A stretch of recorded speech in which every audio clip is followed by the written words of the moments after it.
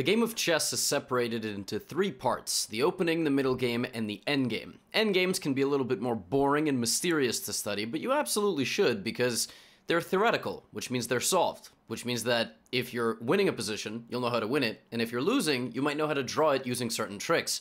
In this video, I'm going to show you all the basics of rook and pawn endgames. We're going to look at a few theoretical examples, ones that have solutions and concepts already built in, and then at the end we will look at a practical example. Timestamps on the video player as always. Let's go. So, the very basic rook and pawn endgame position is one that looks like this. It's just the absolute basic, and I'm going to introduce a few terms that you're going to be hearing throughout this video. So you've got this pawn, and it wants to become a queen, and you have a rook in the way, and the king is going to walk with this pawn together to get the pawn to promote. Ideally, the rook will have to sacrifice itself for it, and you'll will be you'll be left with king and rook versus king, and you win the game. Um, one more thing is at play here. You got to look at the enemy king. The enemy king is not where it needs to be, which is as close to the pawn as possible, literally in front of it in an ideal situation. And your rook is cutting off this king. This is what this is called. This king is very far away three files away, actually, from any sort of defense. This is completely winning for white, and you would win it by going like this. King to e5, trying to push the pawn. Let's say black gives a check. Doesn't really matter where you move the king. Uh, you can move in front and then slide over. You can also go here, threatening to push. If I give you another check, notice that you've now zigzagged, and my rook cannot check you anymore. If my rook goes to somehow try to hit you from behind. This is called a backward defense, backward check. You will push your pawn. Let's say I check you. You don't want to necessarily move in front of your pawn. You can go here. I'll go here, push, and now there is a technique for me to get out, avoid getting hit by so many of your checks, and winning the game. That is essentially the point. And again, your king is very, very, very far away. So this is the, this is the absolute basic understanding of what this video is all about and why it's important because some of these things are a little bit harder than others. And the very first position we are going to look at has the king very close to our pawn and our king and, and everything like that, right? So here you are pushing the pawn forward, your king is moving forward, but it's black's move. And this position for black is a draw. This one is known as the Philidor defense. And what Philidor defense means is black needs to defend the sixth rank. If you are defending on the opposite side, like you are playing with the white pieces, it would be the third rank, but in general, two ranks away from promotion. Black here plays the move rook to a6. Why? Because now the king cannot get, oh, sorry, the king cannot get closer. And essentially what black wants, black doesn't care about checks because the king can shuffle back and forth as long as the rook is moving like that. If the pawn goes forward, to create a shield for the king, because then you will check and potentially mate the enemy king. Oh, this happened? Okay, great, let's go all the way down. Because now the white king cannot hide from the checks. If the white king comes closer, you have a backward check. Right? You have a backward check. You keep checking, and that's it. The king's got no shelter. And the second the king starts to starts to drift and run over that way, I mean, you can continue to check me if you want at a certain moment you can go back and just target the pawn because it's impossible to defend it if the king wanders too far in the distance. Rook to a6 is a draw. Okay, and you need to play this move. I mean, this is the easiest way to draw, sixth rank or third rank defense. Uh, but one more thing about this kind of position is that you notice black's king and rook are on the back rank. And actually, depending on where the, the pawn is, you can just put your king and rook on the back rank, and it doesn't really actually matter about Philidor. But uh, it's not always so simple. So here, here's the thing.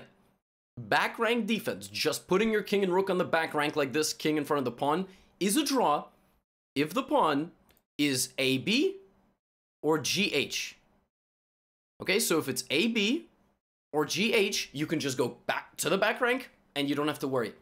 In this case, it's not. It's an F pawn. So why is this not a draw if you just do back rank defense? Let's say black goes, okay, no Philidor, just gonna hang out on the back rank, it doesn't matter. Okay, King G6, okay, it doesn't matter, I'm gonna, I'm gonna go here. Okay, F6.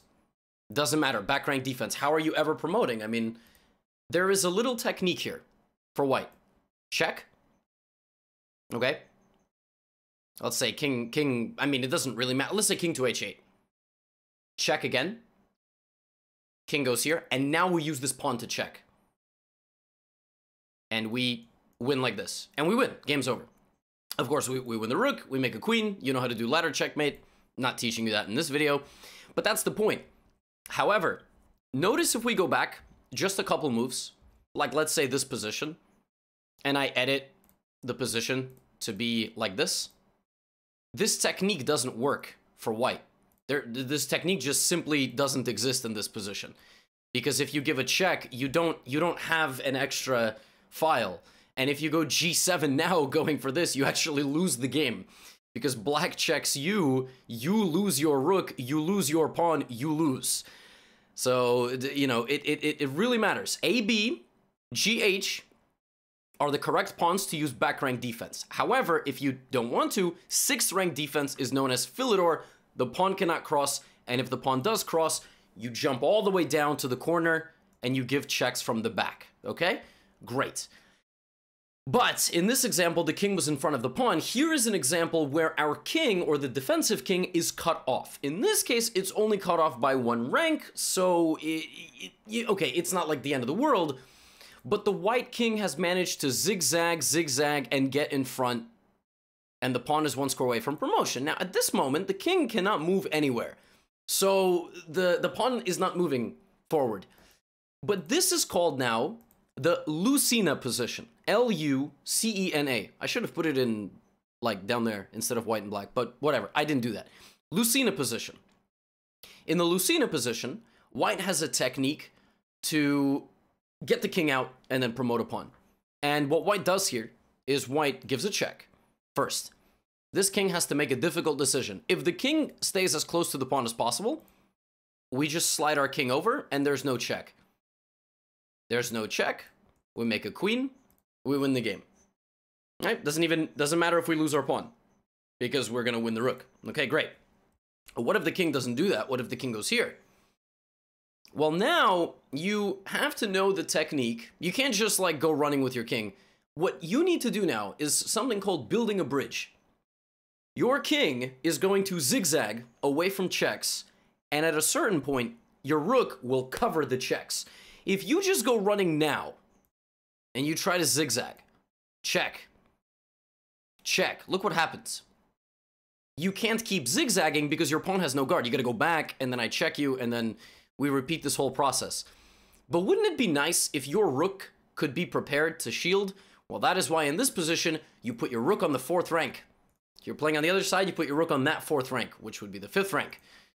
And you anticipate that, for example, something like rook g2 now it's time to run, zig, zag, and rook comes to f4, boom, and that's it. And you've won. You use the check to deflect the king away by one rank, put your rook up, and then you use the rook as a shield for your king. Now there's one bonus example here. Let's say you play rook to d4. Actually, let's back up. Let's say king came a little bit more actively. So you play rook d4, but now king c5. Now hold hold on a second. You can't just go running. Well, you can't go running, but you can play rook to f4. And this is a big problem because now your rook is just escorting your pawn. This rook cannot prevent the king from running in both directions. So if the king goes back to try to get closer, um, there's, you know, king to e8, for example. And there's even positions like, okay, they attack your rook, but in time to promote, defend your rook, and you win. So that is the Lucena position. However, the Lucena position is not always winning. This is a technique that is, you know, important to know how to build the bridge. Rook up and then zigzag. But sometimes you get games like this. It, I mean, it looks like Lucena, but it depends whose move it is. If it's black's move, this is something called side checks. There's a lot of different ways of defending. We saw backwards checks earlier. Sometimes you have side checks. In this case, rook a8, king d7, and rook a7, and you, you know, you can't do anything about this. If the white rook was closer, potentially you can block. But there are certain examples, you know, if, if we go to this position, but we change it, it's now white to move. White is, of course, winning. Because you can do Lucena. You can do rook g1. And, you know, wherever the king goes, you can put your rook in front of your pawn and then escort the pawn. Just move your king and you win. So it really depends. I mean, Lucena, it's it's a very theoretical position. It's good to know, but at the end we will look at a more practical example where this kind of stuff is important. And by the way, I just want to kind of show how the Lucena position could even happen. Here you go. Here's like the beginning of a rook endgame. You know, white plays king g4. Notice white is not even pushing the pawn necessarily. White is escorting the, the king first. Black defends, pushing the pawn, you bring your king. You're not even pushing your pawn yet. You're bringing your king. It's the most important is the king getting all the way there, right? You think, oh, I'm just going to run my pawn. Not so fast. King goes first. Rook g8 check. King goes that way. Why that way? Well, because if you go in front of the pawn, I just check you. And then I'm going to win your pawn. So you actually have to outflank. You have to go to h6 first. Guard your pawn. And then when I start bringing my king closer, king to g7, my rook tries to stay in front of the pawn, but king g6. Rook goes all the way back, now f5. King attacks the rook, rook slides back, continuing to cut the king off, and use this same process to get this position, right? So that is how it's more practical. I can just set up a position for you, but you go, Levy, how, how does that even happen? I, I need to, you know, be 20 moves ago to even understand how to get to this position. That's why I'm including it. Now, there is an entire chapter of endgames with the rook pawn. So, A, H. Uh, for the aggressive side, it's better to have the rook behind the pawn. We've seen that already. The rook behind the pawn, pushing the pawn forward is better, but sometimes your rook gets stuck in front of your pawn. White is moving this way. Now, in this position, if white plays the move a7, white cannot move this rook. Because anywhere that rook moves, the pawn gets taken. I mean, even if you give a check. If you check me and then I go here, you can't promote. Now, for the Black King, it's important to avoid getting checked in these kinds of positions. So do not go like this. Because you get checked and then I promote. And there's one more thing. Do not chase the pawn. Because there is a famous trick. I fell for this once when I was like 8 years old. You think you're going to go win this pawn. But white just plays rook to h8. I don't even necessarily have to check you. I can sacrifice my pawn, but if I've created enough distance, I can skewer your king to the rook, and you lose the game. So for black, the best thing here is to literally do nothing. You go bup, bup, bup, bup, bup, bup, bup, along the A file, and the second I start bringing my king, you start checking me from the from the back. And my king, where's my king gonna hide? My king is just in the in, in the open. My king has nowhere to hide. So, sometimes you get endgames like this where the white king wants to go over here and hide in front of the pawn. That is what white wants to do. Hide in front of the pawn, bring out the rook, push the pawn, win the game. So for endgames like this, rather than pushing, let's say you're just playing this kind of endgame, black has a technique here, and this is the third name of the video. It's called Vancura. The coolest one in my opinion. V-A-N-C-U-R-A. Vancura position. And Vancura position is basically this rook will land on that square, opposite the pawn, horizontal vision on the pawn. It will not let me move because this will be under fire, and if the pawn pushes, then my rook will slide there to the magic square, and that will be the draw. That looks something like this. Let's say black plays rook a1. White starts marching the king in order to get over here.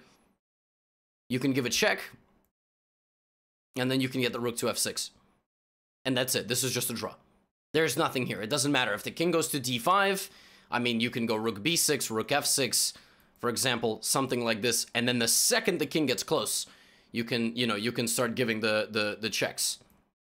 I mean, there's, there, there's just no way for me to hide here. I cannot hide from the checks. I can move around a million times. Doesn't matter. You keep giving checks. So you you get the the rook to this kind of magic square where it pressures, and you defend. Now, in terms of defending these positions, also from position like this, let's say here it's white to move. If it's black to move, how does black draw? Have you been paying attention? How does black draw this? Black just plays Philidor. Six rank defense. But let's say it's white's move, right? It's white's move, white plays king to g6. Wants to go here. Do you give a check? No, because then you lose. You've now failed. The Philidor position doesn't work. You failed. You're too slow to go to the back rank and give me backward checks because I'm mating you. So in these positions, you have to give. I mean, Rook G1 check is not awful, but it's a little bit more risky. In general, it's better to have at least vision on the pawn. But let's say King F6. And I'm threatening checkmate to the king. Okay? Now, if you've made it this far in the video, and hopefully you didn't lose your patience because you were like, this is too hard. When there is a pawn on the board in rook and pawn endgames, there is something called a short side and a long side. Wherever less squares are, that is the short side. This is the short side. This is the long side. All right? Long side, you want your rook there. Short side, you want your king, because the king keeps distance to the pawn, and the rook can give checks from, from the side if it ever has to. So the black king has to move to avoid getting mated, right? How is the black king going to do that? You're going to go to the long side or short side? Short side. Go to the long side, this is what happens. I give you a check, king to d7, I put my rook in front of my pawn, and then I go for Lucena. That's what happens. I'm going to push my pawn, zigzag with my king, and get Lucena position. So you need to go to short side. You say, Levy, well, who cares? You give me a check here, and then here again. Then do the same process. Yeah, but now you got long side checks. See, that's the difference. If the rook can keep a distance and not get under attack, the game is just is a draw. Um, and you know, for example, rook to e8, like trying to shield from long checks. Okay, I mean, first of all, you can still give the check, but even a move like rook f1, for example, you know, you, you're you're fine in in in these positions. Like it's just a draw. Just don't blunder a check which trades your rooks, please. You cannot get your rook traded into a losing king and pawn endgame. You need to keep your rook on the board in the right way. Short side defense is the way to draw. The truth is, it's important to know these endgames because they'll make you more confident. They'll make you more confident in winning them and also getting to the right, you know, holding situation. But in reality, most endgames look something like this. And we will end with this example.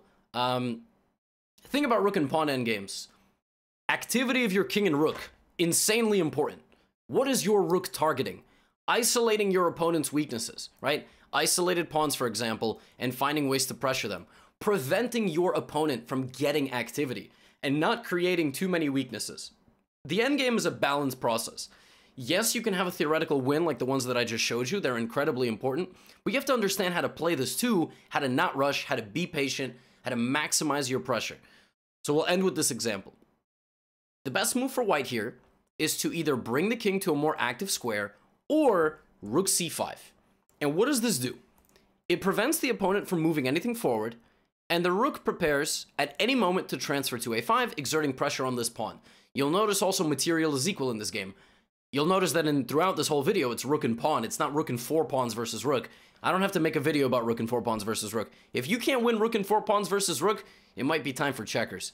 So rook goes to c5, black plays king f8, and we play king e2, king e7, and we're all bringing our kings, right? Now white plays rook to a5, pressuring this. Black chooses to play rook to a8, I mean, black could sacrifice the a-pawn for activity, but that's a, you know, that's a risky decision. Black decides to go here, and now black wants this. So we play king to d4. Maximum king activity, maximum rook activity. And then locking in the bind. So we play the move b4, right?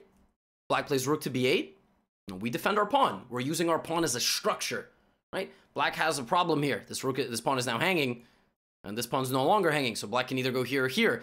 Black chooses rook a8. Black could go to b6, but then the rook can never move. Right? So black plays rook a8 instead, because, okay, at least I can go here. Now white continues to expand. White plays e4.